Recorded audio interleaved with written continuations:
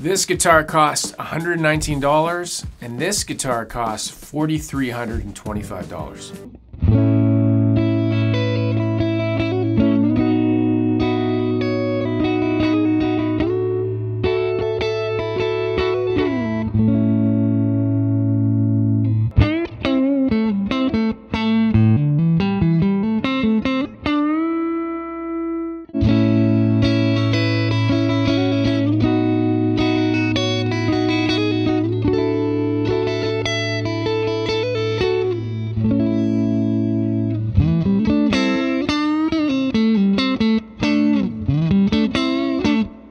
You able to guess which guitar was which? I forgot to write down the answers, so whichever one sounded better to your ears is the guitar that sounded better to your ears on this one recording on YouTube on the internet today when you heard it in the room that you're in, listening to it from wherever you're from. And that's it. None of these YouTube videos take into account how a guitar feels in your hands. It's just not possible. This guitar is blue and this guitar is red. Do you like blue more than red or do you like red more than blue? If you like blue, then the blue guitar is your favorite guitar based on the video images and the motion pictures you've just seen here. Are you starting to get the point? I'm not. Let's do more. I never said what these guitars were.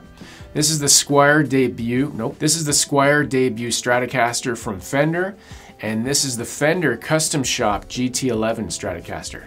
So like I mentioned, the GT11 costs $4,325 and the debut Squier costs 119 bucks. You could buy approximately 36 of these Squier guitars or one of these GT11s. This one says Fender on the headstock and this one says Squier by Fender. People that don't know the difference between the words buy, buy, and buy, they probably think it's telling them to buy a Fender. I don't know what that meant. So when you can get a guitar that costs 119 bucks, why would you buy a guitar that costs 36 times more? The answer is you wouldn't. I just did what most people would do. You start a guitar gear based YouTube channel around 2016 and work on it for eight years until you get a sponsored video in which they give you a custom shop Strat.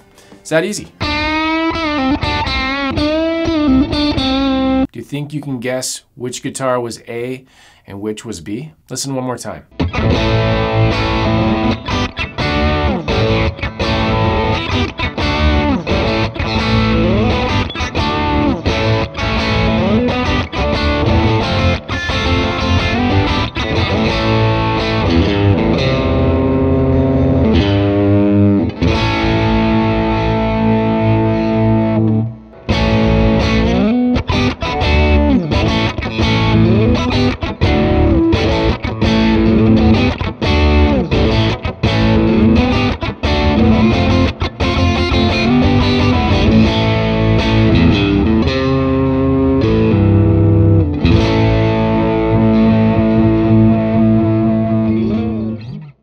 Think?